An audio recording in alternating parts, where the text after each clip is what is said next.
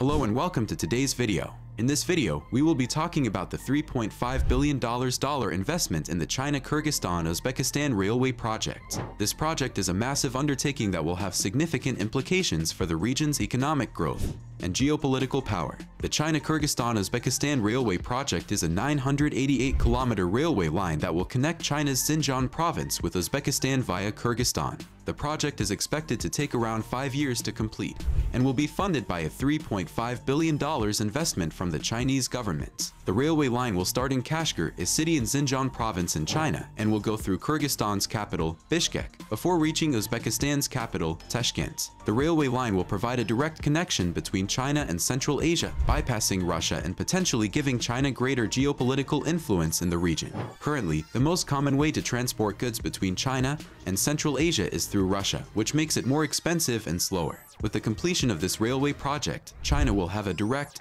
and more efficient route to the region. The project is also expected to boost trade between China and the region, as well as create new economic opportunities for local communities. According to Chinese officials, the railway line could eventually transport up to 12 million tons of cargo per year. The project is also expected to create jobs in the region during the construction phase, as well as in logistics, transportation, and related industries once the railway line is operational. In addition to boosting trade and creating jobs, the railway line could also have important strategic implications. As China seeks to expand its influence in Central Asia, the railway line could give China greater access to the region's natural resources, such as oil, gas, and minerals. This could help China meet its growing energy needs and diversify its sources of raw materials. However, the project is not without its challenges. The railway line will pass through mountainous terrain, which could make construction difficult and expensive.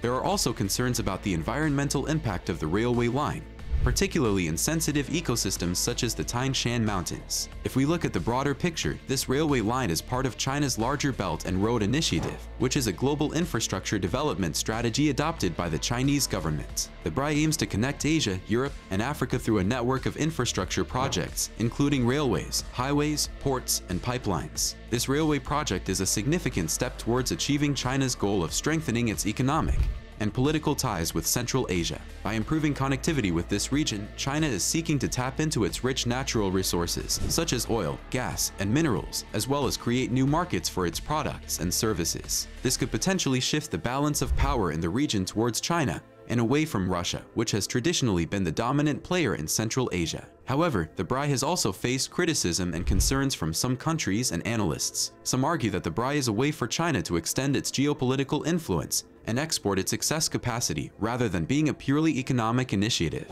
There are also concerns about the financial sustainability of some BRI projects, as well as their environmental impact. Another aspect worth discussing is the potential impact of this railway project on the local communities and environments. The construction and operation of this railway line will undoubtedly have an impact on the people and natural resources in the region. While the railway line is expected to create new job opportunities, particularly in logistics, transportation, and related industries, there are concerns about the social and environmental impacts of the project. The railway line will pass through ecologically sensitive areas, including the Tian Shan Mountains, which are home to many endangered species. The construction of the railway line could damage these fragile ecosystems and threaten the livelihoods of the people who depend on them. There are also concerns about the potential displacement of local communities and the disruption of their way of life. The railway line will pass through many small towns and villages, and some residents may be forced to relocate to make way for the construction of the railway line. To mitigate these impacts, it will be important for the Chinese government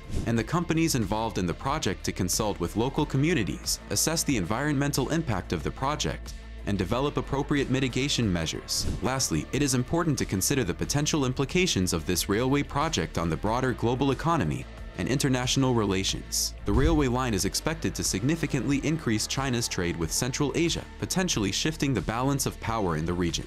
As China seeks to expand its influence in the region, it could potentially come into conflict with other regional powers, such as Russia and India, which also have economic and strategic interests in Central Asia. Moreover, the railway line is part of China's broader efforts to expand its global influence through the Belt and Road Initiative, This initiative has already led to significant Chinese investments in infrastructure projects around the world, raising concerns in some countries about China's geopolitical ambitions. Furthermore, the railway line could potentially impact the global shipping industry as it could offer a faster and cheaper alternative to shipping goods between China and Central Asia than using sea routes. This could potentially have significant implications for global trade patterns and shipping companies. Finally, it is worth noting that the success of the China-Kyrgyzstan-Uzbekistan railway project will depend on a variety of factors, including the political stability of the region, the efficiency of the railway line, and the demand for goods and services between China and Central Asia. Moreover, the railway line is just one of many infrastructure projects that China is undertaking as part of its Belt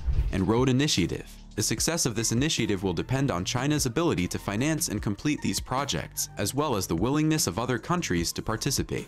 Also, it's important to note that the success of this railway project is not just dependent on the completion of the infrastructure itself, but also on the broader policies and regulatory frameworks put in place by the governments involved. This includes policies around trade, investment, and transportation, as well as regulations around environmental protection and social impact. It's important for these policies and regulations to be well designed and enforced in order to maximize the benefits of the railway project and minimize its negative impacts. In addition, it's important for the governments involved to prioritize transparency and accountability in the project's planning and implementation. This can help to build trust among local communities, investors, and other stakeholders and ensure that the project is being carried out in an ethical and sustainable manner. Finally, it's worth noting that the completion of the China-Kyrgyzstan-Uzbekistan railway project is just one of many developments that are reshaping the global economic and geopolitical landscape.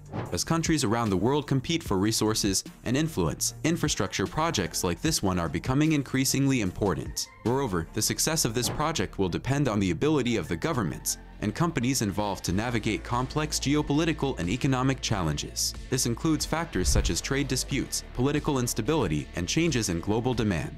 In this context, it's important for policymakers, investors, and other stakeholders to carefully monitor the progress of the China-Kyrgyzstan-Uzbekistan railway project and other similar initiatives, and to work together to ensure that these projects are carried out in a responsible and sustainable manner. One more important point to consider is the potential impact of the China-Kyrgyzstan-Uzbekistan railway project on the existing infrastructure in the region. The project will be competing with existing transportation routes, such as highways and air transport, which may result in some shifts in the demand for these modes of transportation. In addition, the railway line could have an impact on the development of other infrastructure projects in the region, as investors and governments may shift their priorities towards the railway project, potentially leading to a slowdown in the development of other infrastructure projects. Therefore, it's important to consider the potential trade-offs and impacts of this railway project on the broader infrastructure landscape in the region, and to ensure that these trade-offs are taken into account in the planning and implementation of the project. Lastly, it is worth noting that the China-Kyrgyzstan-Uzbekistan railway project is not just a transportation infrastructure project, but also has significant implications for digital connectivity in the region.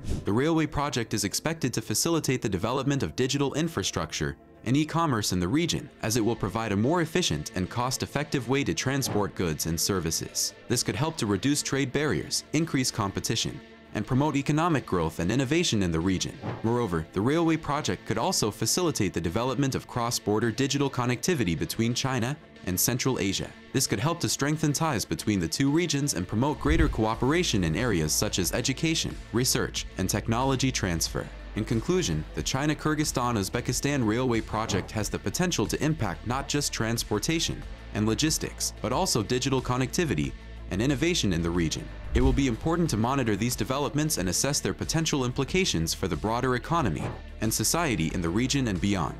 Thank you for watching.